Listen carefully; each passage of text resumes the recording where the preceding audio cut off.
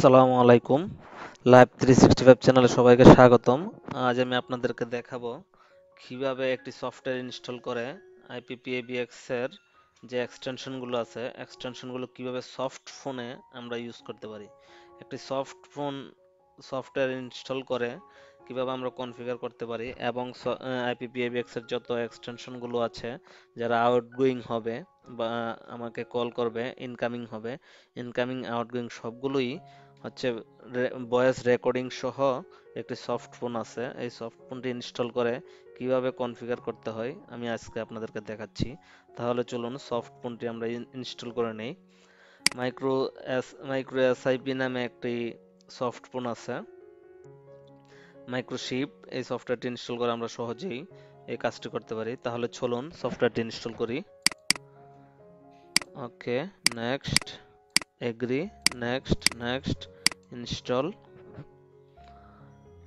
okay finish সফটওয়্যারটি install করে নিলাম। আপডেট চাচ্ছে। আপনারা যদি চান আপডেট দিতে, তাহলে আপডেট দিয়ে দিবেন। আমার দরকার নাই, আমি নো করে দিলাম। ওকে তাহলে চলুন কীভাবে সেট করতে হয় দেখে নেই। প্রথমে আমাদেরকে অ্যাড অ্যাকাউন্টে যেতে হবে। অ্যাড অ্যাকাউন্টে যাওয়ার পর অ্যাকাউন্ট নেম যে কোনো একটা নেম যেমন সাকিব, সার্ভার আইপিপিএবিএক্স সার্ভারটি যে নামে আছে, অথবা যদি আইপি টেলিফোনিক নাম্বার আপনারা নিয়ে থাকেন, তাহলে ওই নাম্বার আইপি টেলিফোনিক নাম্বারের আইপিটি দিতে হবে। S SIP proxy user name user নেমটা যদি এক্সটেনশন হয় তাহলে এক্সটেনশন আর যদি আইপি টেলিফোনিক নাম্বার থাকে তাহলে আইপি টেলিফোনিক নাম্বার আর যদি ডোমেন থাকে যে আইপি টেলিফোনিকের যে ডোমেন অ্যাড্রেসটি আছে সেটা দিতে হবে। তারপর পাসওয়ার্ড ডিসপ্লে নেম যেটা শো করবে, যে নামটা আপনারা শো করাতে চান, আমি একটা নাম্বার নেম দিয়ে দিলাম, সাকিব। তারপর সেভ ওকে তাহলে চলুন দেখে নেই, আমি একটা অ্যাকাউন্ট অ্যাড করেছিলাম, ওই অ্যাকাউন্টটি কীভাবে আমরা কনফিগার করেছি দেখে নেই এডিট অ্যাকাউন্ট অ্যাকাউন্ট নেম দিয়েছি এসকে এসআইপি মানে শিপ সার্ভার যেটা আমার এখানে একটা লোকাল আইপি আছে, এটা আমরা, আমি ইউজ করেছি। ইউজার নেম মানে একটি আইপিপিএক্স সিস্টেমের যে এক্সটেনশন ক্রিয়েট করা ছিল, তিনশো পঞ্চাশ নামে একটি ইউজার নেম আছে ডোমেন ডোমেনটা আমি লোকাল যেহেতু লোকালি ইউজ করতেছি, তাহলে আমাকে লোকাল যে ডোমেন সার্ভারটাই আছে শিপ সার্ভার ওই আইপার এই আইপিটি হবে। আমরা দেখাই দিলাম যে ten dot ten dot one zero one dot nineteen তারপর পাসওয়ার্ড পাসওয়ার্ডটি দিতে হবে। দেওয়ার পরে হচ্ছে ডিসপ্লে নেম ডিসপ্লে নেমে আপনি যেটা শো করাতে চান সেটাই দিতে পারেন। আমি আজকে দিয়েছি। তারপর সেভ আর একটা জিনিস খেয়াল করতে হবে সেটিংসে যাবেন।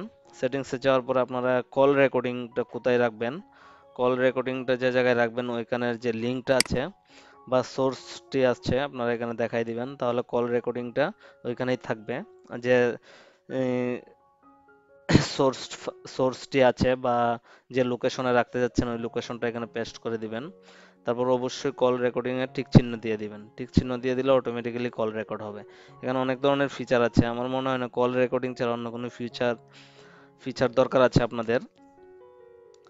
তাহলে অবশ্যই এখানে একটা জিনিস আছে চেক ফর আপডেট মানে আপডেট নেবার জন্য। এটা আপনাদের ইচ্ছা আপডেট দিতে পারেন, নাও দিতে পারেন। আমি নেবার করে দিলাম।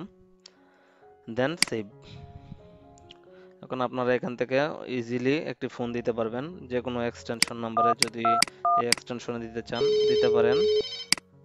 ওকে আর যদি কোনো মোবাইল নাম্বারে দিতে চান, তাহলে মোবাইল নাম্বারে দিতে পারেন।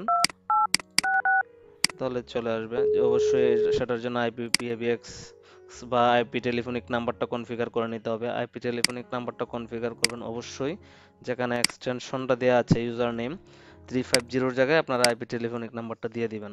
তাহলে আপনারা আউটগোয়িং করতে পারবেন মোবাইলে তো ফ্রেন্ডস যদি ভিডিওটি ভালো লাগে তাকে অবশ্যই সাবস্ক্রাইব করবেন এবং লাইক কমেন্টস শেয়ার করবেন।